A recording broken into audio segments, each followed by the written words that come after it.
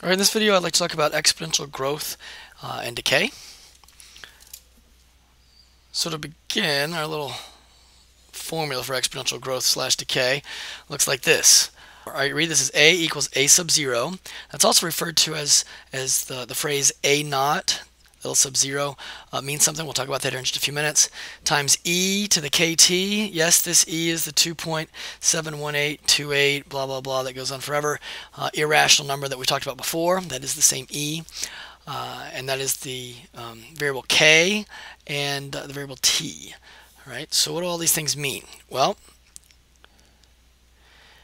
a naught a sub-zero here is the initial amount present. Whenever you have that little sub-zero there, usually means the initial whatever your variable represents. In this case, a represents the amount, so a sub-zero is the initial amount present. So at time equals zero, how, how much is there, right, initially? Then we have k, which is called the growth uh, decay constant. If k is greater than 0, then we have um, exponential growth. And if k is less than 0, then we have exponential decay. Right, so t is time and a is the amount present at time t. And t could, time could be in minutes, days, years, whatever the unit is that we're playing with. All right, so that's what all the variables, that's what all the variables mean for our for our formula. This is a just kind of our general exponential growth decay model. There are other variations of it, but this is the, the one we're going to uh, talk about right now. All right, so here's an example. All right, bacteria is growing at a rate of 23% per hour. If there were initially 350 bacteria, how many will be present after one day? Well, uh, we note that uh, T here is in hours. Um, we've got initially 350 bacteria, so A sub 0 is 350. So, and we want to know how many, how many will be present after one day. All right, so our formula looks like this. Okay, so we're looking for A. We know that A naught is 350. K is the growth rate, uh, and this and it is this is an exponential growth because bacteria is is growing, it's increasing. So it's 23% is the growth rate. So we're going to change that to a decimal, so 0.23, and then T is time. All right, so uh, after one day, well, it's growing at a rate of 23% per hour. So T is in hours. So if we're talking for a whole day, how many hours are in one day? Well, 24. So 0.23 times 24 would be the exponent on the E. All right, then you bring out your calculator uh, to calculate up uh, 350 times E to the 0.23 times 24, and you get 87,372 0.26 or something goes on forever. So we're going to say it's about 87,372. So after one day, we've grown from 350 uh, bacteria to 87,372. Yeah, that thing's going pretty fast. So, make sense? All right, so I have another concept I would like to talk about, and it is called half-life.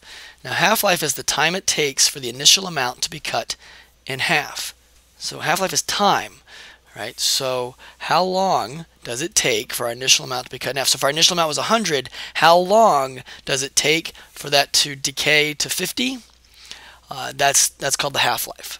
So as, as we can tell, we're decreasing. So this is this is exponential decay, is what half-life is, an exponential decay. So here's an example. All right, the half-life of palladium 100 is 4 days. After 24 days, a sample of palladium 100 has been reduced to a mass of 7 milligrams. For part A, we want to know what the initial amount of the sample was. All right, so, uh, well, how do we go about doing that? Well, the first sentence here, the half-life of palladium 100 is 4 days, that's going to allow us to figure out our, our um, decay constant, right?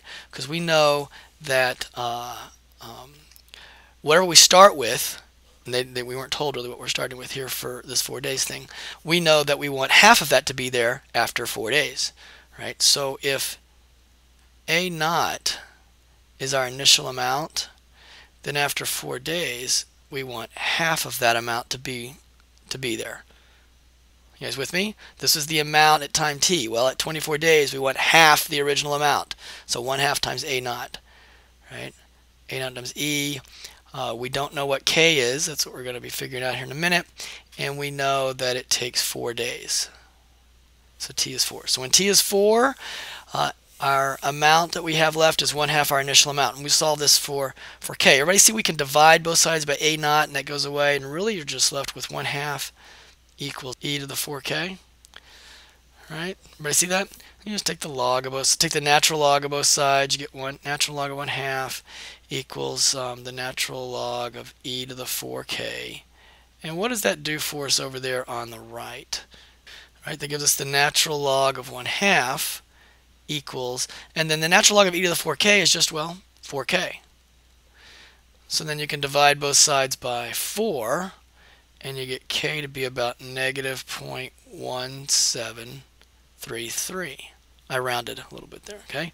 So k is negative 0.1733. So now we've got k, so therefore our formula now looks like this. A equals A naught e to the negative 0.1733 t. We know what the decay constant is, and it's negative because it's decaying, so everything worked out the way we were expecting it.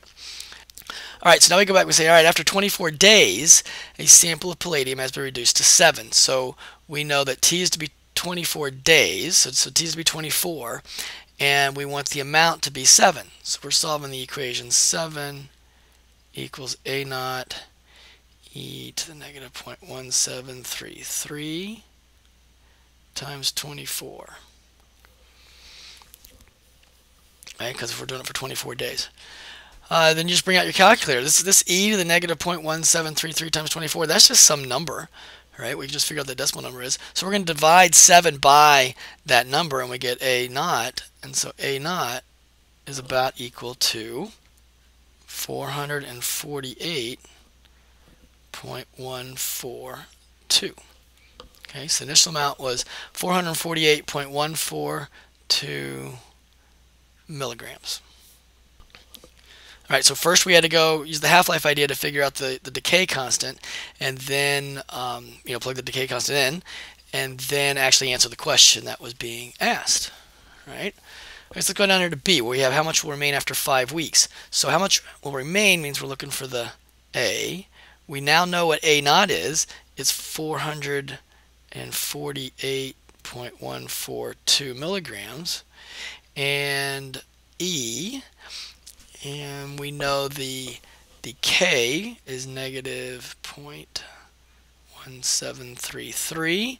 And T, all right, so T is in days, right? Up here, so the half-life is four days. So T is in days, and we want to know how many, how much is going to be there after five weeks. So how many days are in five weeks? Well, five times seven is 35. Right, and then you just plug that in the calculator, and you get A is about equal to 1.0404 milligrams.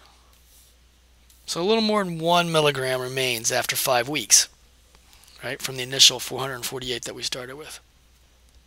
All right, I with me? Make sense? I got one more I want to add to, to this part here, part C. All right, so how long will it take for only 30% of the initial amount to remain? Hmm. All right, well, we started with 448.142. We want 30% of that to, to remain, and we want to know how long it's going to take to do that. So we're looking for time this time, right? So uh, the A part is 30% of the initial amount, 448.142. So 0.3 times 448.142 equals the initial amount, times E. K was negative 0.1733 times T. And our goal is to solve for T. Everybody see how we got everything into the formula um, appropriately? And now we've got that one letter to solve for. All right, now notice that uh, you've got 0.3 times 448.142. And over here you have 448.142 times the E thing. So we can divide both sides by 448.142 and just leave us 0.3 equals E to the negative 0.1733t. And then you can do your natural log of both sides. And you get down to the natural log of 0.3 is equal to negative 0.1733. So then divide, you know, find the natural log of 0.3 in the calculator, then divide that by negative 0.1733, and you get t to be about 6.9473, and this is days. Everybody with me? Okay. All right, so it takes about seven days for uh, our initial amount of 448.142 uh, to get down to, about, to be about 30% of that. All right, so that's the idea on exponential growth or decay. So whenever something is growing or decaying exponentially, then uh, the plan of attack is probably to begin using um, by, using this formula, uh, this idea, all right, sometimes you have to do uh, uh, figure out the k, the growth decay constant first. So use the information wisely to do that, figure out the k, and then you can go answer the problem that was originally asked. All right, okay, that's it. Study well. Please let me know if you have any questions.